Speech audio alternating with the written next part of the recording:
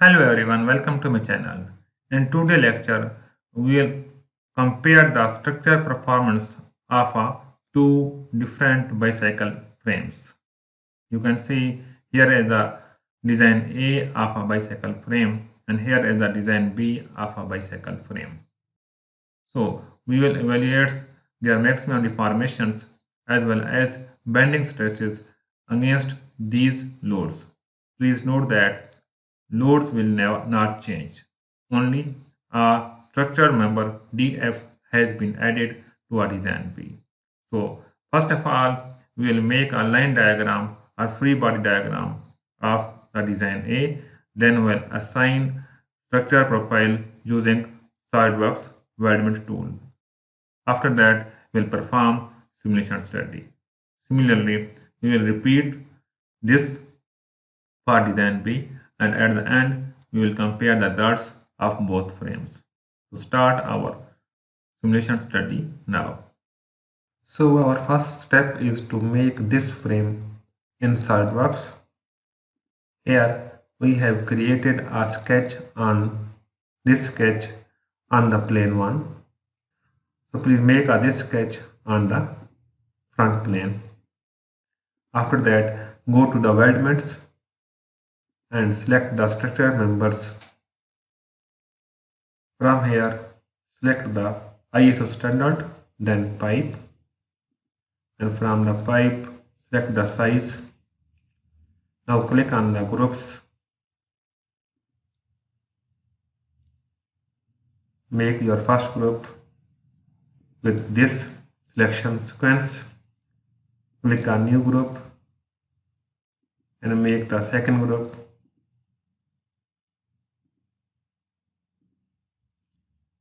and last one click on the this single one.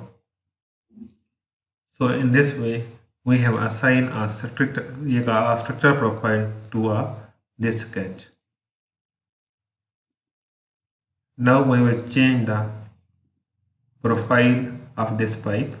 So go to edit definitions. Here you can see that the maximum dia is 0.84 inch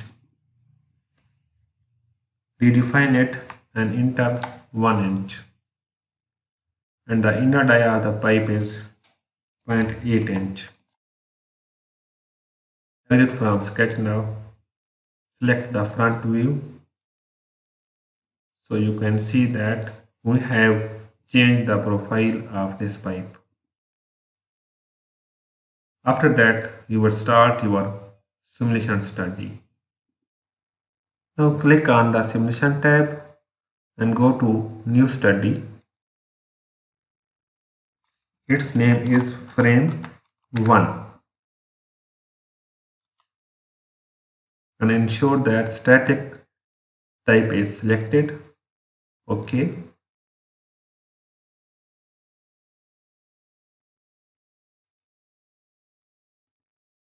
From here, you can see that all are selected as the beams.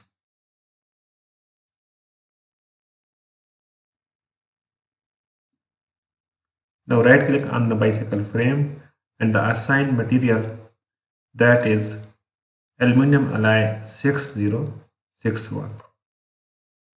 So from the aluminum alloys list select the 6061 that is here. Apply. Close.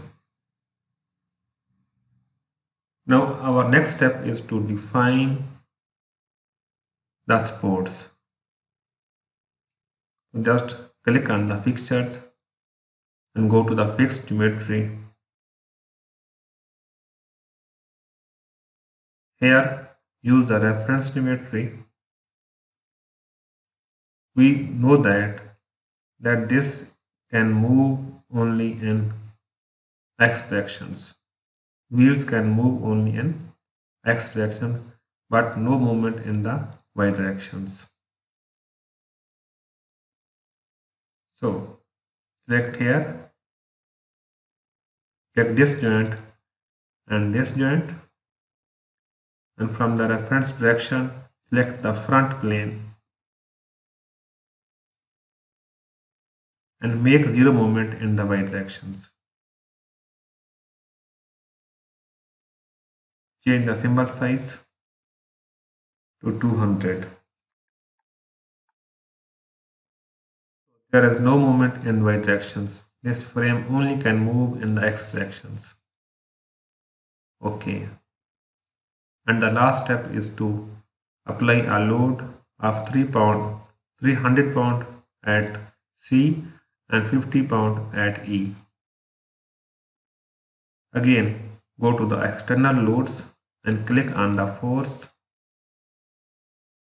From selection box, select joints, select this joint and from the plane for directions, select the front plane and ensure that units are inch pound and for force column select second directions reverse the directions and enter the value of 300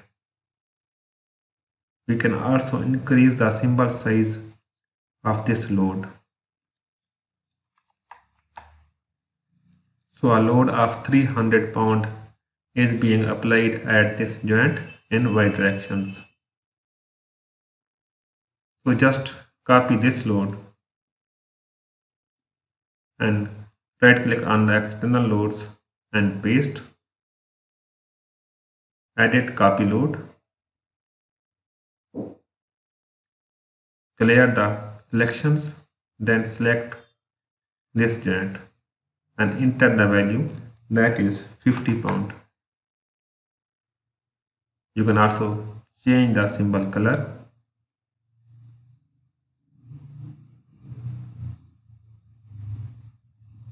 so in this way we have applied complete boundary conditions to these problems. First of all we have applied supports at this joint and this joint in y directions. That there is no translational motion in y directions. And we have apply a load of 500 pound in negative y directions. And also I have applied a load of 300 pound in the y directions. So just run your simulation study now and wait until your solution converged. So our solution has been completed. Here we will examine the stresses as well as deformations and factor of safeties. So right click on the stress and change units to megapascals.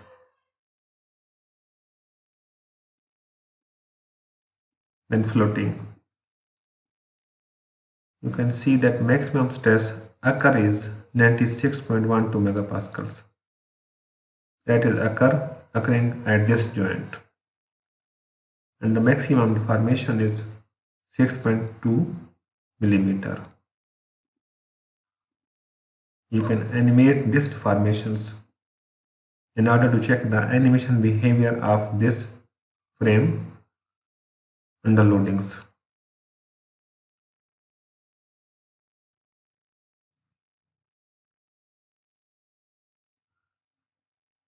So maximum deformation is 6.22 millimeter. You can also evaluate the factor of safety for all these members of frames. So minimum factor of safety is 0.57. So our next step is to design the frame B. With the, here is some minor change that this members has been removed in this way has moved in this way so we will examine again we will repeat all these steps after making this sketch and we'll compare the values of stresses deformations and factor of safety. So here is the sketch for bicycle frame design B.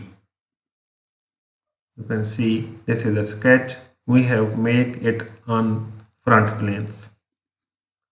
Again, go to the weldments, then assign the profile to the sketch.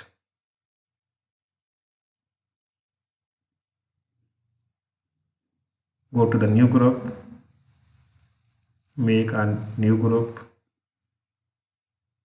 and this is the last group with single member. Again go to the edit definitions of the profile sketch and outer dia pipe is 1 inch.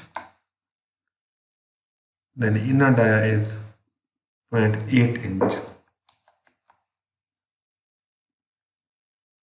Exit from sketch now. And click on the front plane. Now go to the simulations. Click on the new study. Give it a name frame 2 select static and ok and assign material that is aluminum alloy. 6061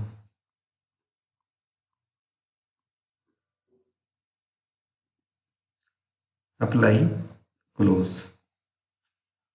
Again apply the fixtures. Select the fixed geometry use the reference geometry. Select these both joints. Click here and select the front plane. Enter the value 0 for y directions.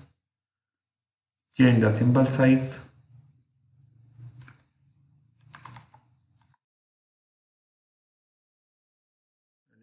Last apply a load or force select the joint select this one. On the front planes units are English. Reverse the directions. That is 300 pound force. And symbol size is 200 value is 300 okay. Copy this loads. Then paste it here again. Go to edit definitions remove the clear selections. Then select this. Joint and enter the value that is 50 pound force. Now run your simulation study.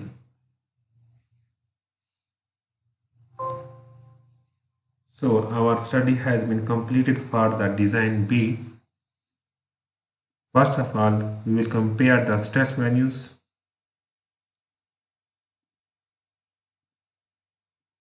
in megapascal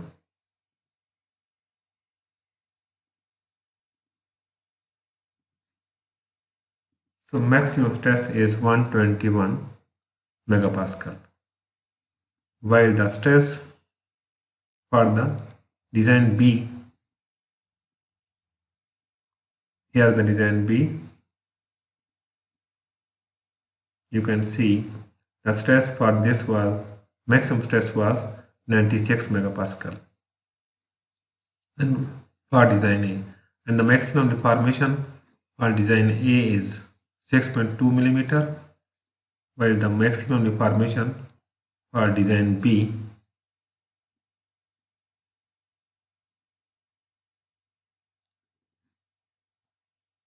is 12.4 millimeter. If we check the factor of safety, okay, the minimum factor of safety, safety is 0.45 that is less than that of the factor of safety for design A. So we can, can conclude that our design A is more safer than the design B with similar type of loadings. So I hope you enjoyed this simulation tutorial of SolidWorks. Thank you for watching.